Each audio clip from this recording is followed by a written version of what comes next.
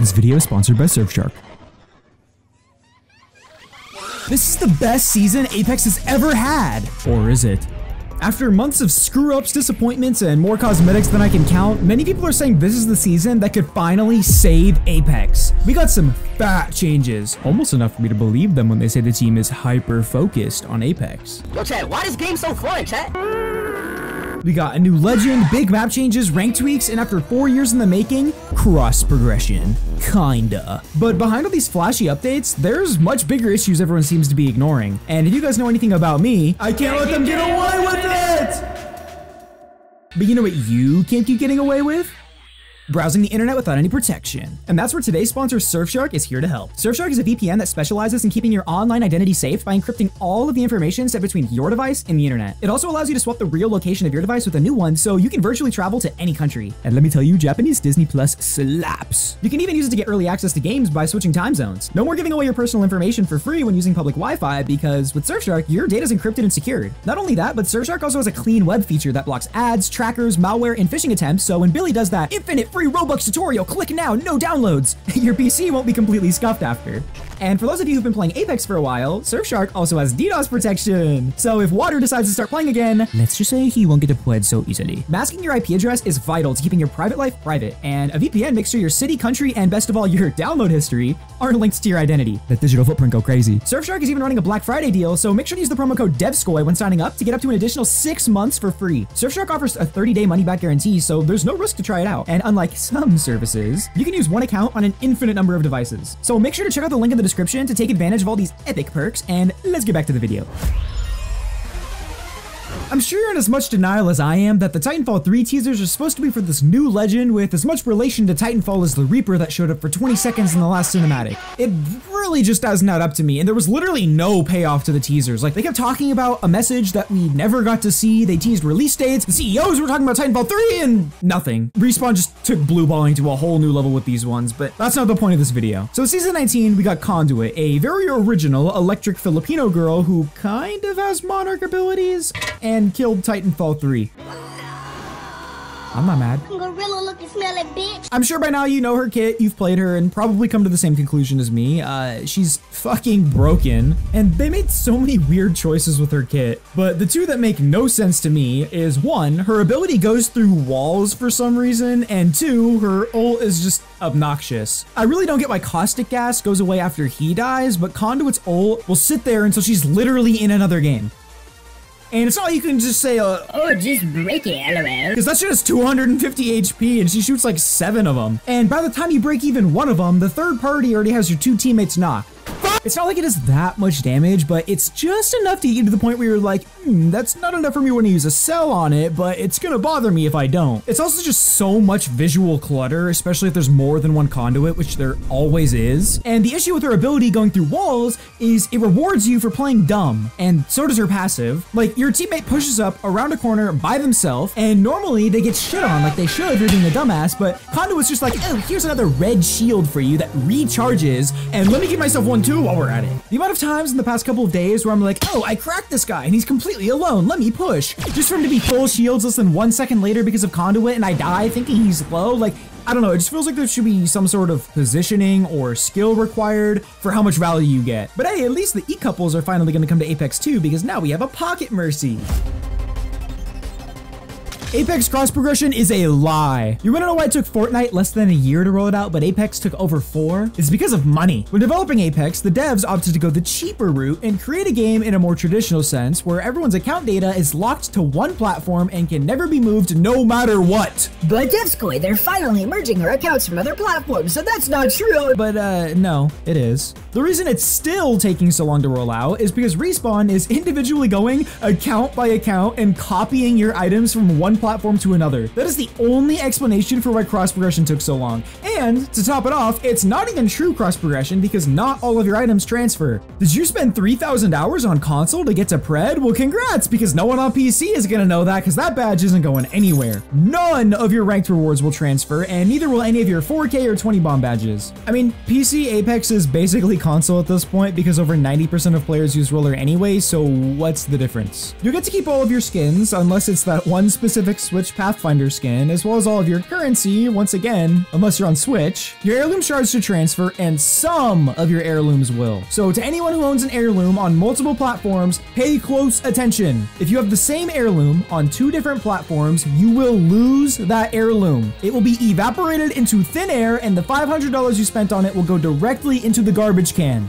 Again, for example, if you have the Wraith heirloom on console and moved over to PC, let's say you got super lucky and pulled an heirloom for one of your first packs. You really enjoyed Wraith on console, so you get your heirloom again, since Respawn confirmed at one point cross progression would never happen. But then, Respawn was like, When you pick it out, and now it is coming! But wait, I have two heirlooms, one kunai on console and one on PC. What happens when I merge my account? Do I get one of them back as shards? Nope, it literally gets deleted. Even if you bought the same heirloom on both platforms, you won't get any shards for it. No refund, not even crafting mats. So if you own the same heirloom on multiple platforms, instead of merging those two accounts, make an alt account on one platform. Merge the alt account so you still have two heirlooms. Based on how slow cross progression is rolling out, I'm sure most of you haven't gotten it yet, so hopefully I just saved some of y'all the depression of having your heirlooms Thanos snapped out of existence. Respawn is literally the only company I can think of that can tell us 1 plus 1 equals 1 and we can do fuck all about it. So yeah, you're gay. Apex changes its rank system more often than Goku changes forms, bro. The second you think you know what's going on, they redo the whole thing again with filler arcs to match. This season, our newest form added rank up challenges where you have to either win a game or get a certain amount of kills to actually rank up. Respawn's goal with these is to make sure Season 16 never happens again, and to keep rats from ranking up, which I'm all for, because I'm tired of these bozos claiming to be Masters players all up in my comments talking shit. Like, bro, I get it. You were Masters in Season 16, so was fucking Joe Biden. You weren't special. And while this is a step in the right direction, there are some major flaws that I don't know how they overlook. The biggest issue with these rank up challenges is they only activate once you reach the max LP for your current rank. No sooner. And it only took one day for me to run into the most annoying shit I've ever experienced. I was 10 LP away from ranking up, right? And I won a game with 10 kills. And you know what I got? 10 LP! In any of the old systems, I would have ranked up like I deserved to, but now I have to win another game if I want to rank up. I literally just won! Which might not sound like a big deal, but then you realize the current rank uses an MMR system, so while my visible rank didn't go up, my hidden rank did. And I'm sure anyone familiar with Apex SBMM knows what happens next. You fucking the shit out of me. Oh, you won a game? Here's a lobby with the top 57 players in the entire world in it. Now win or you don't rank up. Bro, I'm still in silver. This shit is so scuffed. I know I asked for them to do something about rats, but this is the weirdest way they could have gone about it. Not bad per se, but weird for sure. It also proves they give zero fucks about solo queue players, because winning in solo queue past diamond is basically impossible, even more so now because everyone is required to play for the win to rank up. I've been in bronze lobbies with 16 squads in the last ring. Like, what am I supposed to do as a solo queue player? I don't know, man. Hot take, but I still think I'd prefer a kill-centered meta than a win-focused one. You can actually kill 18 squads by yourself, but die to the last one, and the game is like, "Mm, yeah, you couldn't win, so I don't think you deserve to rank up. Like, bro, make it make sense. Because to me, I, I just don't get it. If this is the route they want to take with ranked, that's fine. It's a bit better than before, but they absolutely need to add a separate queue for solo players. It is indescribably unfair to play against Masters or Pred 3 stacks as a solo. The other option, I think, is make solo queue players complete different challenges on their rank up because winning against three stacks is just so tedious. And on top of that, you only get 250 LP after you rank up, so it's pretty easy to D-rank right after you finally win a game, and now you have to win another one. They're for sure taking steps in the right direction, but it's also like they're trying to be quirky for no reason. Like, the rank challenge thing is just so weird. I, I don't know how else to describe it, but hey, what else can we expect from the company who also made the decision to add a character's ultimate as ground loot.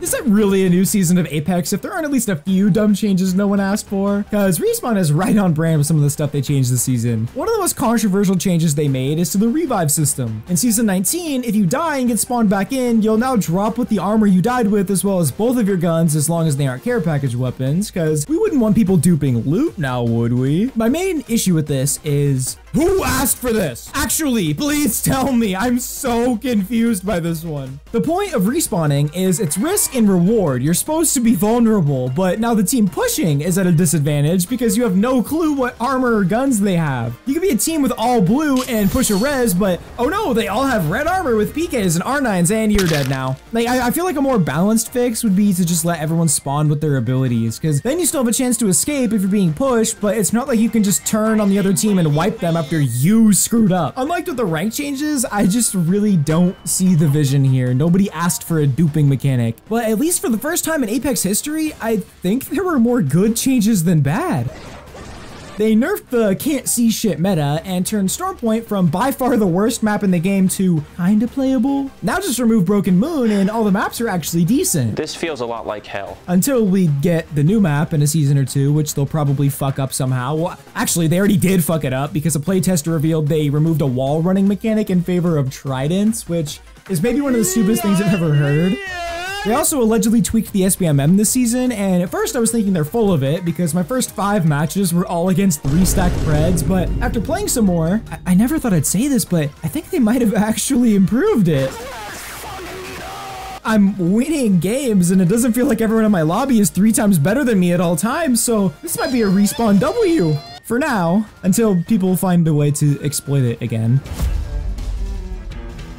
So what's next for Apex? We finally got a season I can say is actually kind of decent, so does that mean we can expect another three seasons of filler? Well, it turns out they actually have some solid stuff planned. You're teasing me, naughty naughty. We're supposed to be getting a new map in the next season or so, and it's supposed to take place near Angel City from Titanfall, so I can see it being pretty cool, but the thing I'm actually excited for is Legend perks. They're finally listening to people when they said to just steal content from Apex Mobile because it was better than the main game, and now they're grabbing parts of the perk system. We're supposed to get these pretty soon too. I believe they're going live in pubs around the mid-season patch, so we'll have to see how it plays out. Instead of being legend specific, this time the perks are now universal and a bit more generic, so things like reduced cooldowns, holding more heals, more nades, stuff like that. And I've been MIA for a little bit, but it looks like the MNK versus controller battle has been heating up again recently, except this time, Respawn has chosen a side. So are the MNK players losing some movement? Are the controller players losing some aimbot? Well, Respawn has sided with the MNK players, the war is over, we have a winner! Respawn said they're going to be looking into tuning aim assist a bit, likely making it a little less strong, and I can't say that makes me particularly upset, but it is interesting to see Respawn finally getting involved because this debate has been going on since season zero, so I'm sorry controller players, Respawn has declared you the losers of the input wars. But that's okay because I still love you and you're all winners in my book, except for the script kiddies. If you enjoyed this video, you should totally check out this other one because the algorithm loves that and that would make Daddy Devskoi very happy. Love you, bye.